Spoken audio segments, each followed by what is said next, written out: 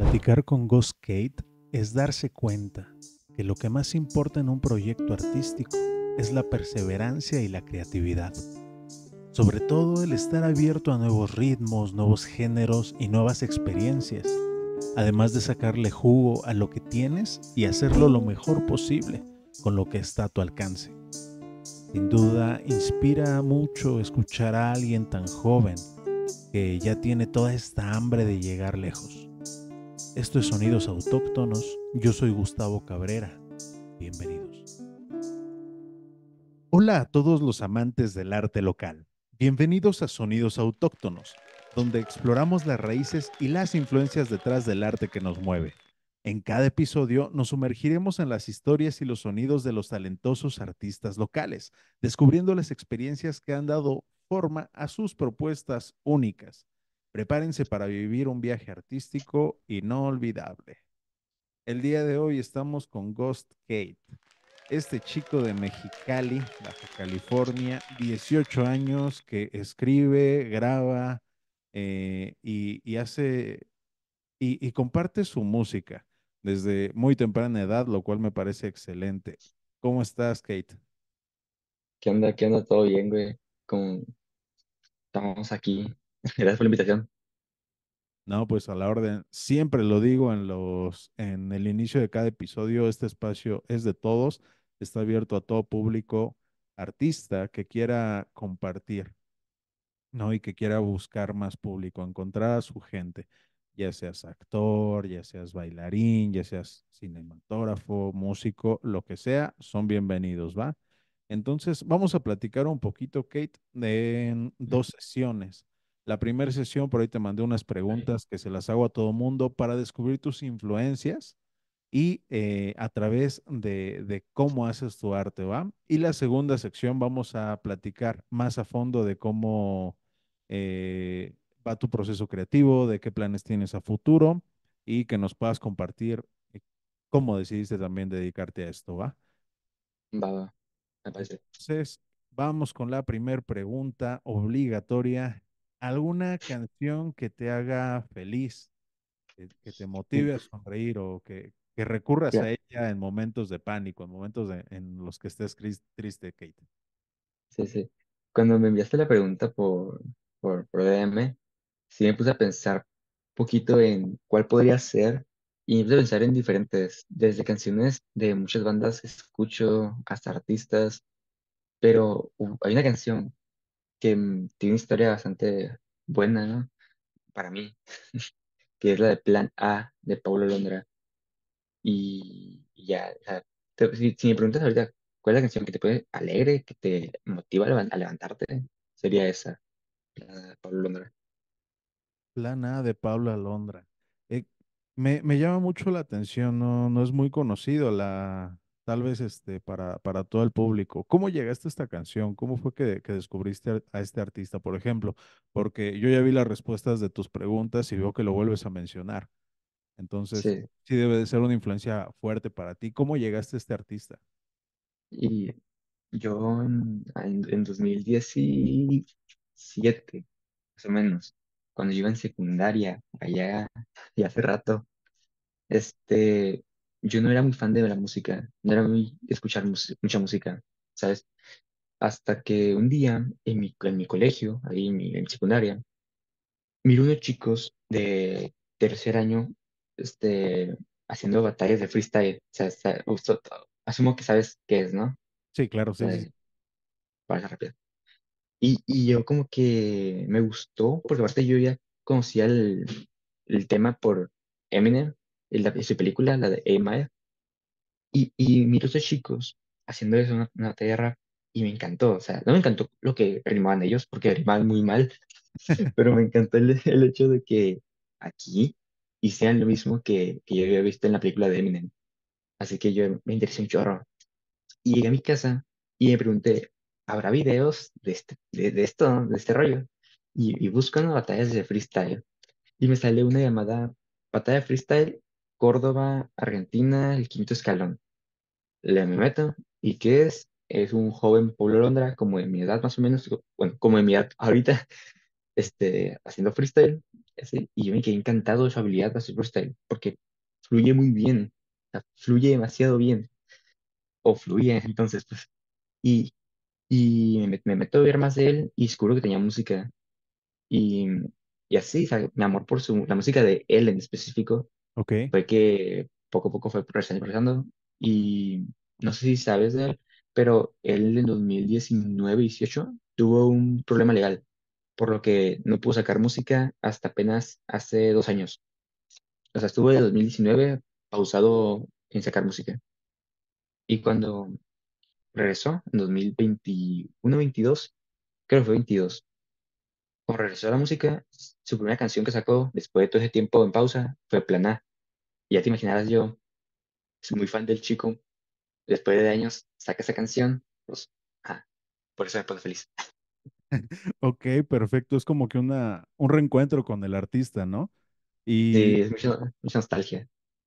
claro, y, y sobre todo me, me llama la atención que llega a funcionar de esta manera el arte, esa conexión. Tú como artista lanzas un tema y no sabes con quién va a conectar y después de mucho tiempo vuelves a lanzar otro tema y no sabías que, que ya tenía, ya había un público eh, a, a la expectativa de lo que esperándote, estás esperándote. y es lo excelente del arte, es lo, es lo, lo hermoso de, de de todo tipo de arte.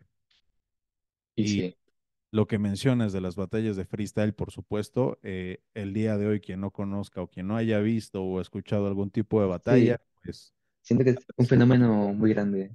exactamente. Y además que no es nada sencillo improvisar. No, no, créeme que no.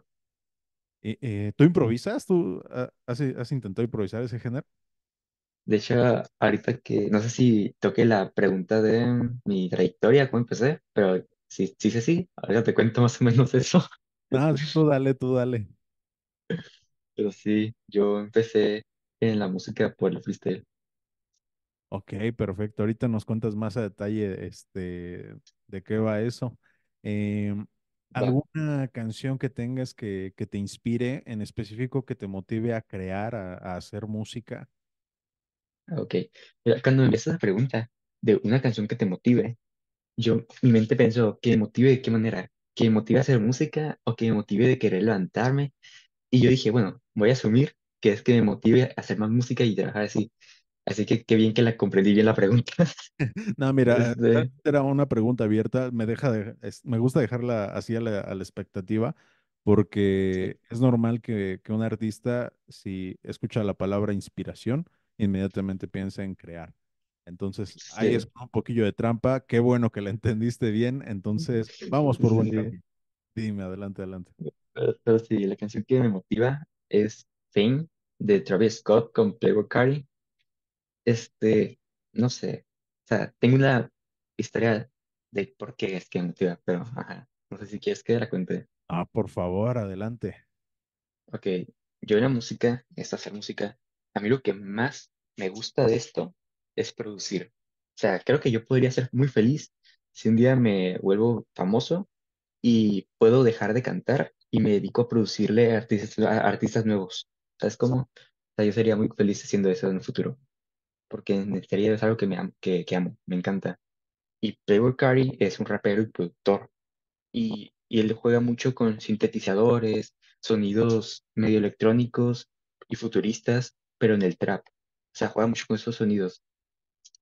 Y, y como saca la canción con Travis Scott para su álbum, pues la canción es la canción de Travis rapeando como suele hacer él, pero el beat, o sea, el fondo, suena, ¿cómo decirlo? Unos, unos sintetizadores que lo escuchas y te hacen sentir que estás volando. ¿Sabes cómo? Va, va, va, ok. Este, eh, Así. e- O es, sea, es fantástico complementar una habilidad y una pasión con otra. que sobre todo pueden ir de la mano perfectamente. Igual lo platicaba en el primer episodio del podcast con, con un buen amigo, se llama Eric Manríquez, que sí, él es músico y es productor. Entonces tenía esa facilidad para plasmar tal y como sonaba en su mente, ¿no? Y eso no es nada, nada, nada sencillo. Igual uno como artista, como músico, vas con tu productor, le dices, oye, quiero que suene así, así, así, pero cada cabeza es un mundo y lo puede interpretar de otra forma. Entonces, exactamente. llame la atención eso, eh, insisto, a una edad tan joven es fantástico, es excelente. Pero sí, esa canción me encanta por eso, porque el nivel de producción que hay detrás es fascinante. Ok, va perfecto. La siguiente pregunta, Kate. Eh, ¿alguna canción, eh, no sé si tengas presente en específico, reducirlo a, a esa, a solo una canción que te hizo, que te motivó a amar el arte, a querer decir, ¿sabes qué? Pues yo no quiero ser médico, no quiero ser arquitecto, yo me quiero dedicar a la música. Mamá, quiero ser streamer. Exactamente. Ya no quiero estudiar la secundaria.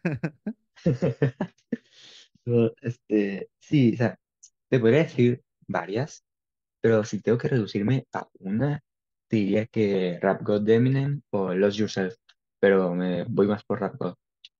Y es que, pues, como te cuento, o sea, yo no escuchaba mucha música de, de, de morro, o de más joven, no escuchaba mucha, mucha música, porque no sé, no encontraba, no encontraba mi género, no encontraba mi música, ¿sabes cómo? O sea, todos tienen de que su género musical por el que siempre van a tener una preferencia. O sea, por ejemplo, mi mamá con el metal, mi papá con corridos, mis amigos con el trap, otros amigos con el rock alternativo, pero yo de chiquito no encontraba esa, esa música, es- ese, ese que yo dijera, esta es mi música.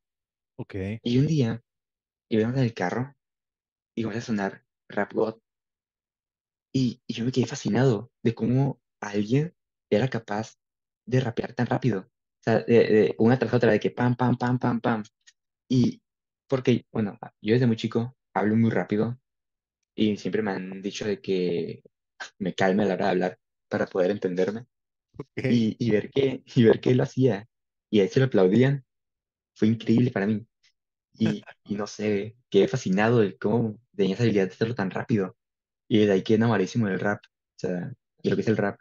Y de ahí miré la película de Eminem, la de 8 Mile, y quedé fascinado con el freestyle, con la habilidad de improvisar, de cómo puede ser que se te ocurran rimas eh, cantaditas, entre comillas, al instante.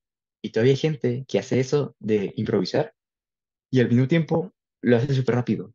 O sea, no sé, quedé fascinado con todo lo que envuelve el rap y, y ya, eso fue lo que me hizo amar la música. Ya luego me salté a rock y a trap y así, pero ajá, este inicio fue lo que me hizo amar la música. Perfecto, me, me llama mucho la atención que, que tus influencias principales la, se basen un poco en el rap, porque ya descubriendo tu EP y para quien nos esté escuchando, tiene música en Spotify, en Apple Music, en cualquier plataforma, lo encuentran así como Ghost Kate, ahí lo voy a poner Sí, para los que nos están viendo en YouTube, pero no tienen mucho que ver de lleno con, este género de rap, sí, Entonces, es la, la versatilidad de un artista, no encasillarse con un solo género o con una sola temática para poder mira, compartir su arte. mira, toda mi música ya no tiene nada que ver con el rap, pero el hecho de hacerla, el proceso, sí tiene mucho que ver. Ya, ya luego te diré por qué. Ok, perfecto. sí. Sí, sí, sí. Claro. Este, por lo pronto pasamos a tu álbum favorito. Ok, esta sí es una pregunta que me mataste. Me mataste cuando me la hiciste. Cuando me la enviaste por Instagram, me, mat- me mataste, o sea, te lo juro. Muy difícil. Porque sí, yo, yo, mira, yo soy de coleccionar álbumes. O sea, yo tengo aquí una, una, una repisa, y tengo muchos álbumes, ¿ok? Me gusta mucho coleccionarlos. Ya te imaginarás qué, tan complicado fue elegir uno. Va, va, va. Si Pero quieres, menciónanos, no sé, tus, tu top 5. mi top 5. Mira, mi top 5 tengo Room. Hay una, eh, un álbum de Stroke, de Stroke, se llama Room Concert que es el álbum creo que más famoso, Around the Four de Deftones, que es el que te envié, Around the Four de Deftones. Aunque de, de Deftones también tengo Around the Four y Diamond Eyes, que son los que te podría decir yo mismo que son mis favoritos en general. O sea, esos álbumes podría ponerlos en bucle diario, sin ningún problema. perfecto. Pero, pero sí, son mis favoritos. Excelente. Me, me, me da mucho gusto que, que todavía se siga escuchando ese tipo de formatos físicos, porque Sí, hay quienes dicen, los expertos dicen que pierde calidad en el formato digital. Entonces, es deber ser de un gran melómano tener formatos Eso, físicos. Y si son eso en es muy real. sí, Es muy real lo, lo de que pierde calidad. ok. Y lo, lo he escuchado bastante. Entonces, este, ha- habla muy bien de ti como músico y como este, como aprendiz de, de, de productor, si me permites, para Sí. eh, poder diferenciar o poder analizar las composiciones a tal nivel de encontrar una diferencia entre lo digital y lo, lo análogo, ¿no? Es, que, ¿sabes qué? Algo que yo he notado mucho, ok, ajá, como productor aprendí. Cuando haces algo digital, ok, la pieza de audio pues tiene sus bajos, la voz y todo a la hora del máster, ¿no? La melodía, voz y bajo creo que se divide, o drum, no me en digital, pues hay una línea de barrera y se pierden los sonidos que salen sobre ahí. Pero en el físico no hay esa, esa barrera. Por lo tanto, no se pierden esos sonidos. ¿Sabes cómo? O Sí, sí, sí. los aires, los bajos, no se pierden. Ajá. Vale. E- evidentemente, o bueno, no sé, este, ¿ya has estudiado algo de producción o todo ha sido autodidacta? Eh, hay, que contar bien todo eso, pero llevo sí fácil un año y medio tratando de aprender, ¿sabes cómo? O sea, Pero, pero por ya, tu cuenta. sí, por mi cuenta total. O sea, Sí, he tenido una ayuda de gente que sabe producir, pero ayudas mínimas, de como explicaciones y así, pero, ajá, perfecto. Siempre una, una persona que aprende por sí misma eh, la escuela la utiliza como debe de ser, como una guía para aprender y no como una que espera a que te den la cátedra y, ok, voy a aprender lo que tú me enseñes, ¿no? Tú, sí, este, eh, en el momento que tal vez llegues a una escuela o con un maestro, vas a ir exclusivamente a aclarar unas dudas tuyas y a pulir cosas que ya sabes. Entonces eso te pone en una ventaja mucho mayor que que, que alguien que solo quiere estudiar producción o, o música en general y dice, va, pues me aviento, ¿no? Sin, sin tener sí, este, esta curiosidad previa. y sí siento que tener curiosidad o hambre de más, por así decirlo, Sí, es lo que te hace sobresalir, sí, por supuesto. Es, es también un muy buen indicio, Kate. Eh, ¿quién es tu artista favorito? ok, como pudieron intuir por mi respuesta con la canción que, que me hace feliz, pues es Paulo Londra, o Ok, sea, sí, por supuesto. Ya nos platicaste un poquito que este, hace rap, ¿no? Y es complicado, y yo he visto mucho que, que es complicado que alguien que, que se dio a conocer por el freestyle, no sé si sea el caso del artista que mencionas, pero los que hacen freestyle y sacan música propia no pega. sí, Entonces, es muy, co- es, es muy común tristemente, ah, sí, tristemente, porque definitivamente tienen muy buenas cosas que decir, ¿no? Igual escriben pero sus mira, sin chinga, sí, pero pero mira, sea, el tema con Pablo Londra es que este, mu- muchos fuera de Argentina, porque él es de Argentina, no lo conocen, pero un tiempo, Pablo Londra entre 2018 y 2019 fue, creo, si no, me- si no me equivoco, top, entre los top 5 en toda Latinoamérica. O sea, sí pegó muy, muy fuerte en su, en su boom. Chido. No, no lo conocía, lo voy a escuchar, sí lo, lo vi cuando me lo mencionaste ahí en las respuestas. Eh, la verdad no me dio tiempo de escucharlo, pero ahorita que, que me lo comentas sí, ya me llama más la atención, ¿va? sí, sí, fue, es muy bueno. En, mi- en lo personal me gusta mucho todo de él, ¿sabes? Como su forma de escribir hasta su voz, porque no es como que mejor cantante, no tiene la mejor voz, ¿sabes cómo? Hacía freestyle, obviamente no tiene la mejor voz, Sí. pero tiene una voz muy, muy, muy peculiar, muy característica de él, y me gusta mucho cómo suena. ¿Sabes lo, lo que he notado y lo, he- lo he escuchado de varios maestros de canto? Que obviamente todo evoluciona, el arte tiende a evolucionar, entonces mencionan que la manera de expresar al público, de dar tu mensaje, ya no es como tal con una voz súper melódica y súper privilegiada, ¿no? Si el mensaje que das es acorde con la voz o la, la entonación que le das, es válido. Ya, Cuando, claro, sí, eh, ciertos requisitos de, de afinación, ¿no? De métricas, que pues eso es el deber ser pero tener esta apertura para que no tiene que cantar como Pavarotti para que sea un buen cantante o para que pueda dedicarse a la música y fortalecer su mensaje. Yo, yo estoy bajo esa línea y pues apertura total a todo.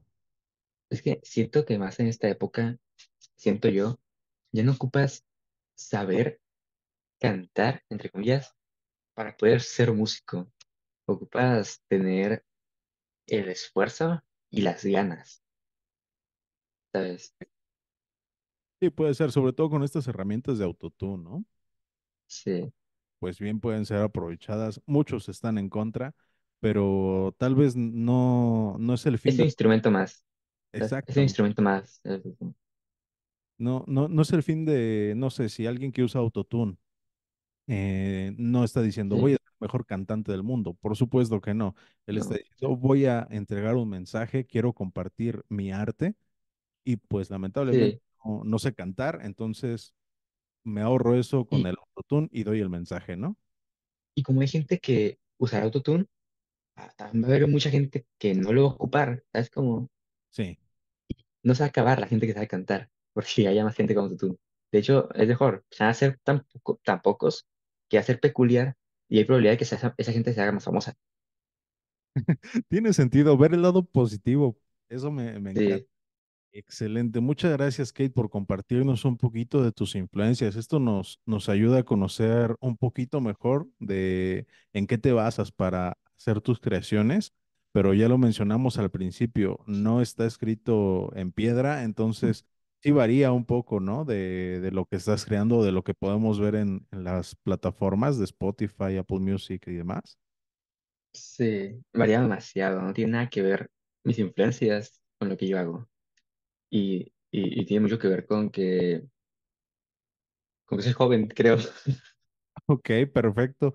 E- Es bueno de, de joven experimentar con, con todo un poco, hacer todo lo que se te venga en la mente. Yo, yo creo que me rijo mucho con esa bandera de si tengo una idea, debo de desarrollarla hasta el final, hablando de hasta que de plano algo me detenga o necesitas esto más para continuarla, pues va, hasta ahí nos detenemos o la ponemos es, en pausa, ¿no? es que sí, o sea, la vida es muy larga como para frenarte por pequeñeces, siento yo.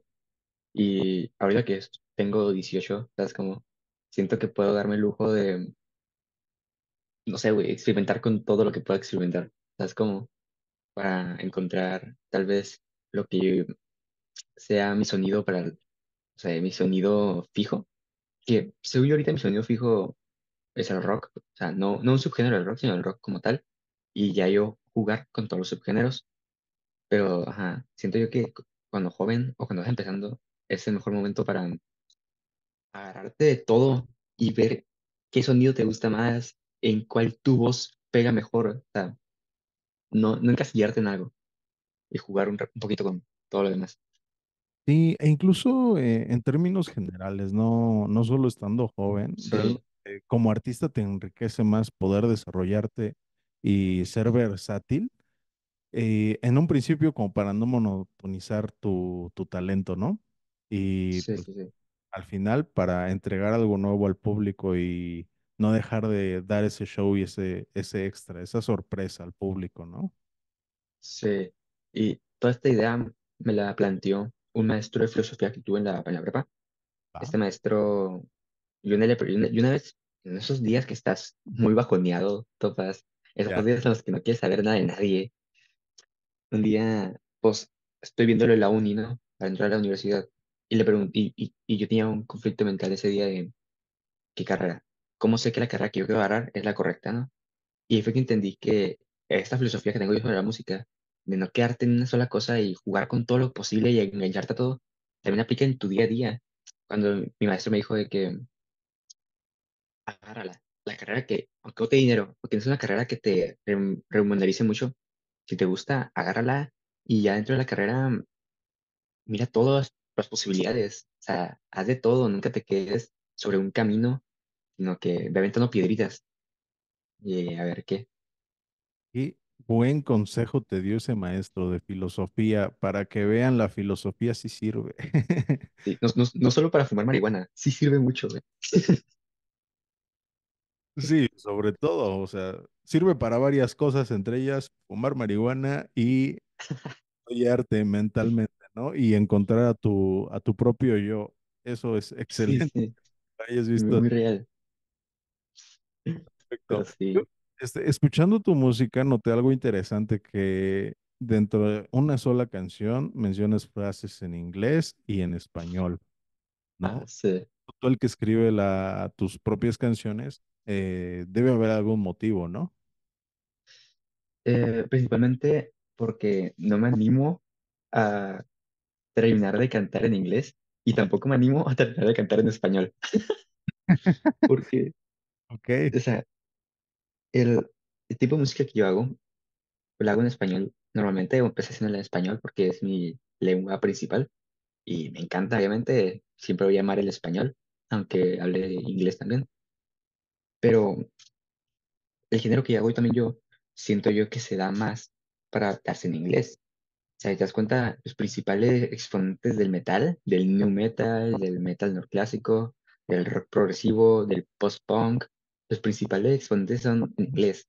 Metallica, Blink, este, Deftones, The Strokes, etcétera, son en inglés. Y, y por eso es que intento meter eso en inglés, porque siento yo que el género se da mucho para eso. ok, Y, y, y pues aprovechar mi habilidad de que soy bilingüe. Es ok. como, ok. Las- las- en la escuela, en la escuela me decían que el inglés me abre puertas, pues a ver qué haces aquí Perfecto, con que no aprendas otro idioma, sino también vamos a escuchar un, un híbrido en entre ruso. ¿Te ruso, alemán. imaginas? No, qué ¿Te chido. imaginas al rato? E- incluso este, he escuchado esas estrategias en músicos un poquito más clásicos, no sé, un Andrea Bocelli, eh, que, que canta que, en inglés, en español, quién sabe en es que te cuánto. abre muchas puertas, te abre demasiadas puertas a mucho público. sí, en, en efecto, totalmente de acuerdo y qué bueno que, que estés consciente de esa oportunidad y que la aproveches y que la explotes, ¿no? Este, sí, sí. el sonido, cuéntame un poquito más del sonido, porque eso en especial fue lo, lo que a mí más me gustó. El La, sonido. la la producción en general y la, los instrumentos que metes. Ok. Yo, pues de muy joven escuchaba ya rock. ¿Sabes? Como, aunque no fuera mi género favorito, yo desde muy chico escuchaba rock. Ya luego se volvió mi género favorito en la actualidad, pero de chico no tanto, porque, ajá, mi madre escuchaba mucho Metallica, Bon Jovi, Nirvana, así que ya te imaginas que me educó bien. Ok, Guns N' Roses. Y algo que, algo que sí, desde muy chico me gustaba mucho del rock, es una guitarra. La guitarra me fascinaba. Ubicas que ya pasó el primer verso, el preestribillo, el estribo, el segundo verso, y de nada había un solo de guitarra de medio minuto que era increíble, de que lo escuchabas y te quedabas así en la silla viendo el, viendo el techo, nomás disfrutando, disfrutando de la guitarra. ¿Sabes cómo? Y a- ahorita que estoy haciendo música, no Yo no sé hacer muchos solos de guitarra, pero, pero igual trato de meter de que en todas mis canciones en la parte que yo llamo el estribillo, el coro, que casi siempre lo hago yo medio gritado. Trato de meter ahí una guitarra más potente de lo normal. O sea, y a la hora de producir se me dificulta un poquito la mezcla, pero no hay problema. O sea, es como yo puedo estar de que dos días enteros mezclando, pero porque se pone genial la guitarra, yo, yo puedo estar ahí una semana entera si tienes ahí. Va, va, va. Sí, definitivamente se necesita mucha paciencia y mucha esta habilidad de, de perfeccionismo, ¿no? De que hasta que no quede lo Sí. que tú quieres escuchar, no le das fin a, a la producción. Sí, sí, es algo que aprendí con el tiempo, porque yo antes, eh, como, como te conté, yo empecé con el freestyle, así que yo era de que podía, esca- podía hacer- sacar canciones de que, no sé, cinco canciones al día podía sacar, sí, ok, ya, es como, no, no de producir, sino de, de, de cantarlas, de grabar, Ok, podía sacar de que cinco al, al día, por eso, por la habilidad del freestyle, porque te da una agilidad mental increíble. Te juro que yo siempre le, le he recomendado a los artistas, aunque no hagan nada que, que ver con el rap, aunque no hagan ni, ni trap, que hagan, no sé, rock o pop, siempre a, a compañeros que conozco que hacen música o conocidos que hacen música, siempre les digo, practica freestyle, hazlo. O sea, aunque no te guste el rap, hazlo, por favor. Te va a hacer un mega favor. O sea, te da la habilidad de escribir súper fluido, de a veces ni escribir, a veces te paras frente al micrófono y, y sale una canción entera por sí sola, ¿sabes cómo? ok, Pero sí, ajá, cuando comencé, yo no priorizaba mucho lo que es la producción, producía, produ- ¿cómo decirlo? Primor- primordialmente para mí estaba el grabar, el tener buenas, le- buenas letras. Que al principio nadie tiene buenas letras, pero yo me enfoqué mucho en eso, en tener buenas letras al principio. Y ya luego fue que entendí que no importa tener las mejores letras la mejor letra del mundo, si no tienes una buena producción o decente. Sí, que ir de la mano.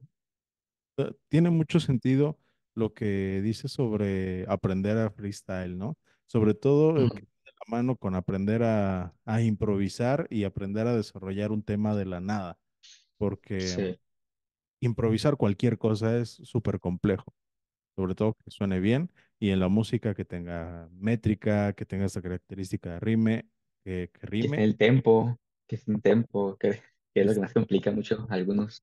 y aparte, tírale y respóndele a alguien que te está diciendo algo, ¿no? Entonces es uf, un mundo que su cabeza, si le hicieran una resonancia en su cabeza lo que está pasando, yo creo que estarían como si estuvieran drogados, yo creo, por Una vez, acciones una vez llegué, una vez llegué a escuchar que la cabeza de un freestyler, el cerebro de un freestyler, a la hora de estar batallando, llega a reaccionar igual que alguien haciendo cálculos.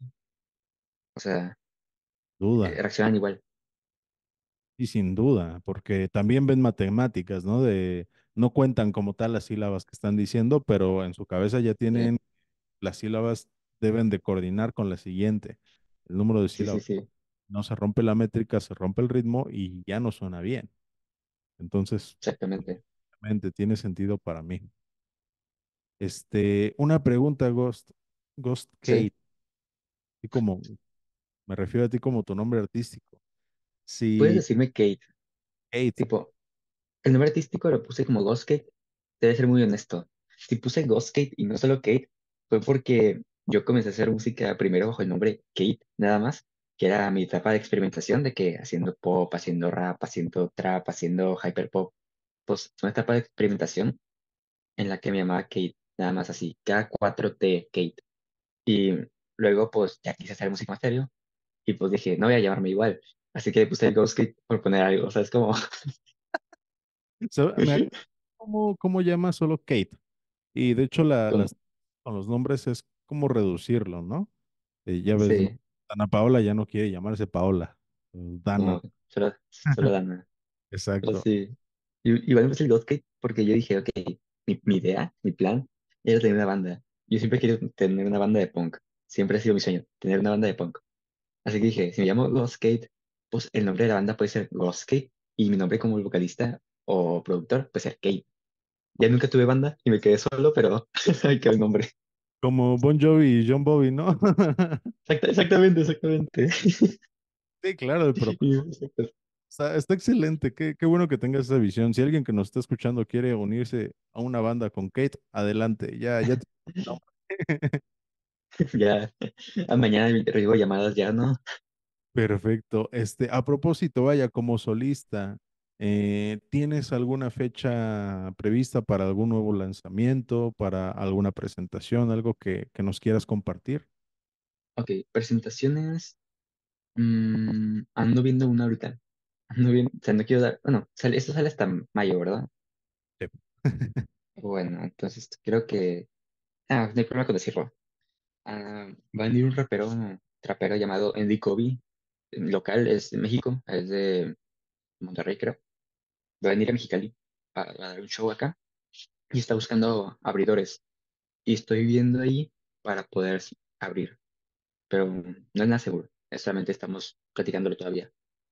Así que ajá, si se concreta eso, asumo que en edición puedes poner aquí que se concretó. Sí se hizo. Perfecto. Sí, esperemos que Um, se concrete. y nuevos lanzamientos, pues este mes saqué dos canciones seguidas. Saqué Despertarme y saqué Emo Girl hace poquito, el 4 de abril. Este, ando trabajando ahorita en un EP completo. Así que música este mes no va a haber, creo. Perfecto. Hasta el próximo, tal vez. Pues ya está, manténganse al tanto de sus redes sociales. Eh, pues con esto concluimos la segunda sesión. Ya nos platicaste un poquito de tu trayectoria, de tus planes. Ya te expliqué que yo empecé con el freestyle, ¿no? Yo empecé freestyleando en la plaza. De que iba al parque de por donde yo vivo, hay batallas de freestyle. Y yo empecé ahí, güey. Yo empecé ahí yendo a, a tirar free, ¿no? Y tiraba, llegué a ganar, fue muy, muy pocas veces, pero llegué a ganar. Pues, este, y ya fue que yo, escuchando a Pablo Londra, que él también hacía freestyle, se puso a hacer música, dije, ¿por qué yo no? O sea, ¿por qué, no, no podría hacerlo yo, no? Y ya fue que comencé, esto, eso te estoy hablando hace tal vez dos años, ¿sabes? Como Empiezo a hacer música con una canción que yo escribí de freestyle, o sea, me puse freestyle y las partes que me gustaban las escribía. Y así que, o sea, así salió mi primera canción llamada, ¿cómo se llamaba? Chico Básico, creo que era. Chico Básico. Este, la produje con lo que yo sabía, ¿sabes? Como la produje en un editor de video, sea, ni siquiera un editor de audio, un, ed- un editor de video. Me metí el audio del, del beat, un beat que me robé de internet, y el audio de mi voz, y ya, no, los pegué los dos lados, estos de audio, y ya, así lo subí a YouTube.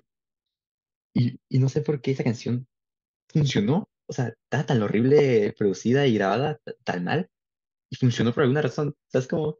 ok, Tenía como, tenía como, a la semana tenía como 500 vistas, algo así. wow. Y, y yo dije, wow, de aquí soy. Y comencé a hacer más. Y te digo, por esto de hacer freestyle, pues era muy sencillo. Así que era de que un día me sentaba frente al micrófono, este no, un micrófono que tenía en ese entonces, este, y comencé a improvisar, tan, tan, tan, tan, sacaba los flows. En ese tiempo hacía trap.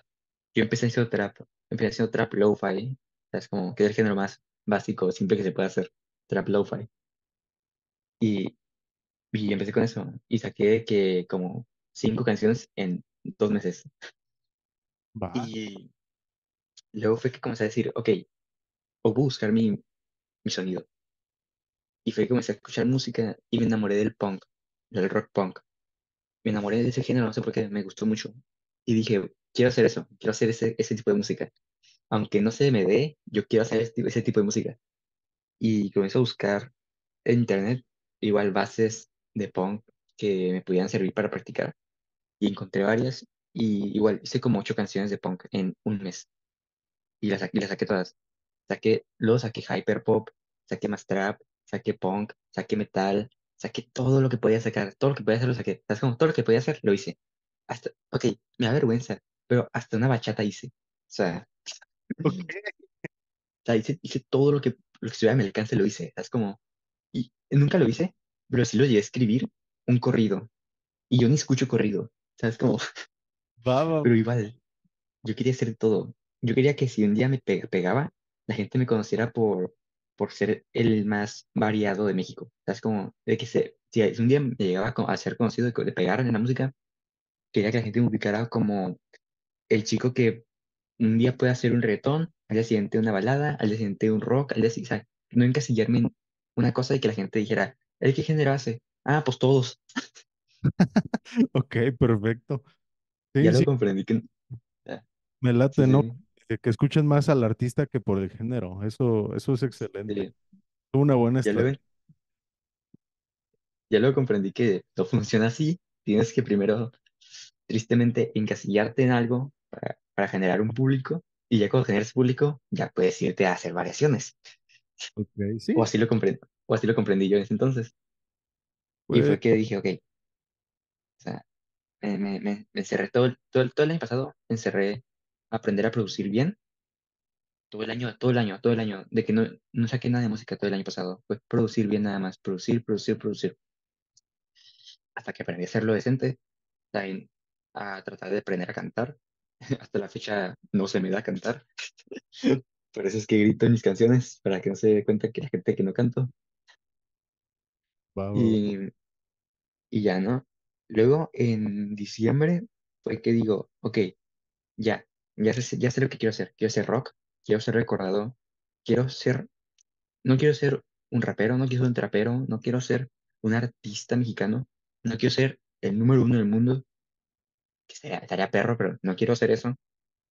Quiero ser recordado como la leyenda del rock contemporáneo. O sea, que la gente diga, el rock ya murió, y digan, ey, ey, ey, no es cierto, escucha a este chavo. O sea, es como, o Ok, sea, ser qué- recordado como el receptor del rock, por así decirlo. Va, va, va, me, me late mucho porque sí, este, lo, la tendencia de los géneros, pues es que eh, de cierto modo después de su pico, pues vayan hacia abajo, ¿no? Entonces yo creo Sí, que es, uno de ellos tienden a bajar, tiende, pero, ajá, ¿no? Pero sí, sí, que tengas esa, esa mira sobre ese camino y pues nada, todo, todo el éxito del mundo, toda la suerte y todas las ganas, la, la disciplina. Este, sí, o sea, bien, bien. digo, en diciembre, cuando te dije, en diciembre cuando te digo que yo ya andaba como que, ok, esto es lo que quiero. Todo lo que había hecho antes, el hyperpop, el trap, el post-rock, el rock alternativo, todo eso que andaba en mi canal de YouTube, lo borré, todo lo borré. Bueno, no lo borré, lo puse en privado, todo, todo, todo. Y fue, fue que le cambié el nombre a mi canal, de Kate, a Ghost Kate, a mi Instagram también, a, me, me abrí una cuenta de Spotify porque dije, ahora sí va a ser algo serio, ya, ya tengo que dejar de jugar, dejar de robarme beats de internet, dejar de hacer letras cualquiera, dejar de hacer cualquier género, ya, esto va a ser en serio. Me abro Spotify, me abro Apple Music, me abro Tidal, me abro un SoundCloud, este, comenzó a ver cómo subir mi música a plataformas, consigo una distribuidora que hasta la fecha digo que gracias a esa distribuidora por confiar en lo que estoy haciendo, porque me, me dieron el visto bueno, porque te muy honesto, fui con varias distribuidoras a ver quién se animaba a ayudarme con la distribución de la música y todo eso. Y muy honestamente, todas me dijeron que no, todas me dijeron que, que, que, que mejor no, que no hiciera nada de eso, que, que yo no era, ¿cómo decirlo? No era para mí. O sea, o sea, fueron muchas, muchas las que me, me cerraron la puerta. Y hasta la fecha agradezco que la distribuidora con la que estoy ahorita me haya dicho, sí, tú Kyle. Es como, ¿tú Kyle quieres sacar un EP? Ok, va, dame tu EP, lo subo ahorita mismo en plataformas. Saqué el PC de rock, que una carta antes de que te vayas. El EP habla sobre el desamor, pero al mismo tiempo es una, una forma muy, muy conceptual de hablar sobre todo este año que estuve experimentando. O sea, va, la primera canción del EP, la primera canción del EP es este, mm, ¿cómo se llama? Al chile siendo con otra. Esa canción del EP, esta canción, la última canción que grabé antes de que mi música fuera seria. O sea, la grabé aun cuando mi canal se llama Kate. Y la, la quise poner parte de la forma, de forma parte del EP, pero quiero que con esa canción represente eh, a Kate, o sea, que me represente a mí antes de, de ponerme a hacer este tema serio. Luego la segunda canción es Me quiero, me quiero largar, que es la primera canción. No, Te quieres largar, creo que se llama. Se me, se me olvidan mis primeras canciones. Ok, Esta canción, esta canción como que representa ya más mi nuevo estilo, lo que quiero hacer ahora O sea, ya más alejado de lo que hacía antes, porque es una canción full de rock y full punk. O sea, es tan punk que dura de que un minuto y medio la canción. No sea, no sabes, pero el punk suele tener eso, durar de que un minuto y medio, un minuto quince, ir en contra de lo que está establecido, vaya.